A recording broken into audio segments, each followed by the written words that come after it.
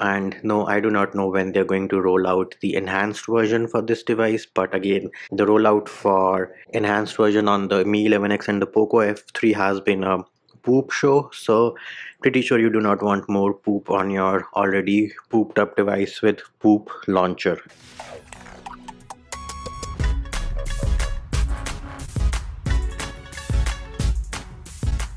Hey peeps, what's up? Munchy here, back with another video and in this video I'm going to show you what is new and what is missing in the official build of MIUI 12.5.4 based on Android 11 running on the Indian variant of the POCO X3 Pro. Now those of you who have watched my video about 12.5.4 on the global variant of the POCO X3 Pro feel free to close this video and not waste your time because everything is almost the same. Now the only change which I have noticed in this build is that the security patch has been updated to August 2021. That's it. Other than that, we can now jump over to the things which are missing. So this here is the control center. Do you get your data usage in the control center? No. Next up we can see if the ever so famous feature of MIUI 12.5 wherein they would let you uninstall system apps. Is that feature live or not? So weather is one of the apps which you should be able to uninstall. Can you uninstall it? Mm, no. So that feature is also missing. Next up we can talk about the ever so famous or infamous poop launcher. Have the animations of poop launcher been fixed? Well the proof is on your screen right now.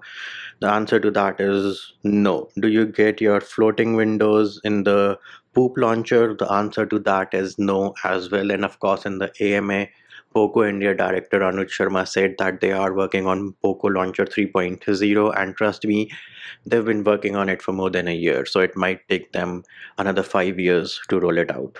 Next up, let us see if they still think they have always on display. So we can go into settings and once we are in settings, we can go into battery and performance and try to fix the battery issues. There it is, turn off always on display. So yes, the POCO team thinks they have always on display on this LCD panel. Next up, let us see if you get the new Game Turbo 4.0. So I have enabled Game Turbo for the Mi Remote application and let us see. Nope, you still get the old Game Turbo. So no Game Turbo 4.0. Then do you get the 90 FPS screen recorder? So let us open the screen recorder application and then we can go into settings frame rate nope you still do not get the 90 fps option in the frame rate of MIUI screen recorder.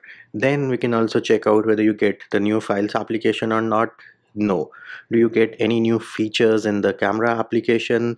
The answer to that is also no. Then we can also check the gallery application to see if somehow they gave you the new gallery application. No. Let us go into settings digital well-being. Do you get the one with focus mode from MIUI no. We can also go into privacy to see if you get the new one wherein if something is accessing your camera and microphone. No that is also not there. Then we can also see if you get the feature of partial screenshot or not. So you can go into settings additional settings. Here and do you have partial screenshot? No. Do you at least get the new power menu? Uh no you do not get the new power menu either. So unfortunately the only thing which poco can add is the security patch now moving over to the benchmark scores. So how I test the benchmark scores is like I execute four back-to-back -back Antutu runs. Everything is executed at 120 ambient temperature of 25 to 30 degrees Celsius. And then once the four Antutu runs have finished, I execute a CPU throttle test. Here on screen are your Antutu results and surprisingly they were not as good as what I got with 12.5.3 India.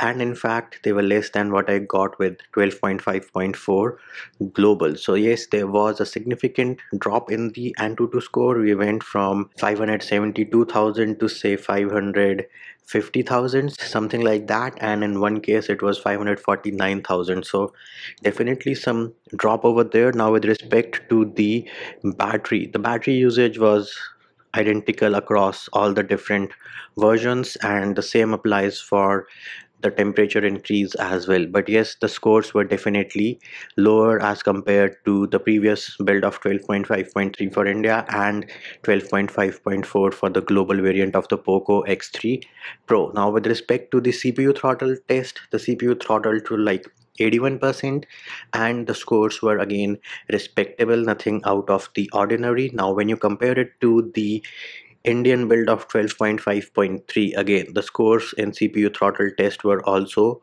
lower. So all these numbers what they show is that you might see a performance dip with this new 12.5.4 update for the Poco X3 Pro and no I do not know when they're going to roll out the enhanced version for this device but again the rollout for enhanced version on the Mi 11X and the Poco F3 has been a poop show so pretty sure you do not want more poop on your already pooped up device with poop launcher. And that will do it for this video. Hope my video helped you. Likes shares and subscribes are appreciated. Feedback and comment more than welcome. See you when i see you